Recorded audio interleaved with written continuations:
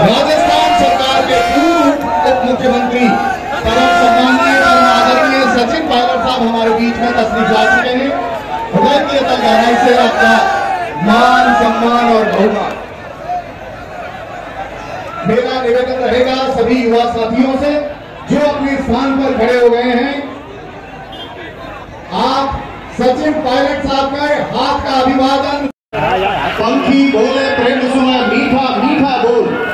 पवन सुना ले बांसुरी बांसुरी बोल दुर्गा भरते गाओ तो घर आया के बुला मोटा बोले मार भाई बली बली है मोटा से बोले मार भाई बीच में हमारे परम सम्मानीय सचिन पायलट साहब का राजवीर जी वीरेंद्र धाम छात्रावास के भव्याति भव्य उद्घाटन समारोह के मुख्य अतिथि के रूप में मेरा निवेदन रहेगा सभी युवा साथियों से जो अपने स्थान पर खड़े हो गए हैं।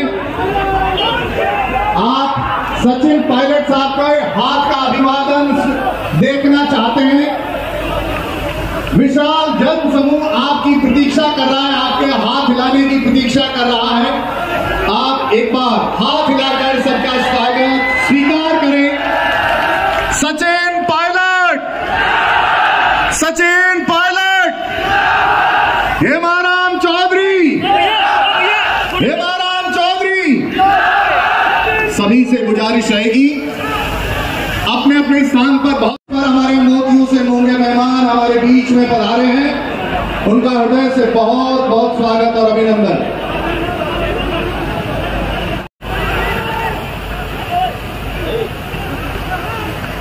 आज का ये खास मौका, जहाँ पलक पावड़े बिछाकर हम आपका हमें सिखाती है।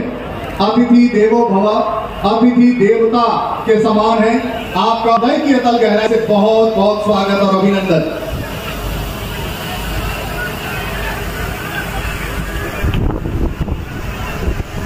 वीरेंद्र धाम के भव्य उद्घाटन समारोह में पधारे हुए सभी अतिथियों के बीच हम परम सम्मानीय माननीय सचिन पायलट साहब, युवाओं के हृदय सम्राट, हम सभी के मार्गदर्शक और आज के इस समारोह के मुख्य अतिथि पाली इत्यादि से, जो लोग परम सम्मानीय हेमाराम जी के प्रति और परम सम्मानीय सचिन पायलट साहब के प्रति सद्भाव रखने वाले हैं वे बहुत दूर दूर से यहाँ आपका स्वागत और सत्कार करने पधारे हैं। हृदय की अतल गहराई से हम बहुत बहुत स्वागत और अभिनंदन करते हैं। मैं मंच पर उपस्थित सभी महानुभावों का एक बार पुनः स्वागत और अभिनंदन करना चाहता हूँ। ये बाड़मेर आपका ऋणी रहेगा। श्री मुरारी लाल जी मीणा, राजस्थान सरकार के मंत्री महोदय, श्री विजेंद्र जी भोला जी आर जी खटाना साहब, दीपेंद्र सिंह जी इंद्रराज जी मलिंदा जी, गिरिराज सिंह जी, राजेंद्र जी गुड़ा, खिलाड़ी लाल जी बैरवा, राजेंद्र चौधरी जी, करण सिंह जी पद्माराम जी मेघवा रूपाराम जी धंधे राजेंद्र जी चौधरी, करण सिंह जी भीमराज सिंह जी भाटी, राणा भवानी सिंह जी बस तुम्हारे पाए।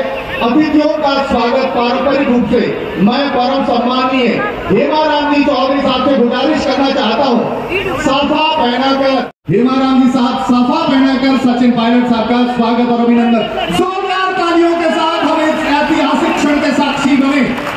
मैं ज़ोर सिंह जी सहू साहब से निवेदन करना चाहूँगा। शॉल लगाकर मान सम्मान और बहुमान करावे परम सम्मानीय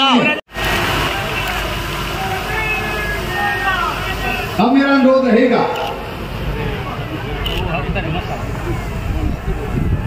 हिमाराम जी साहब से मेरा अनुरोध रहेगा। सॉल उड़ाकर मंच पर उपस्थित सभी मेहमानों का स्वागत और अभिनंदन करावे। अगर मैं सूची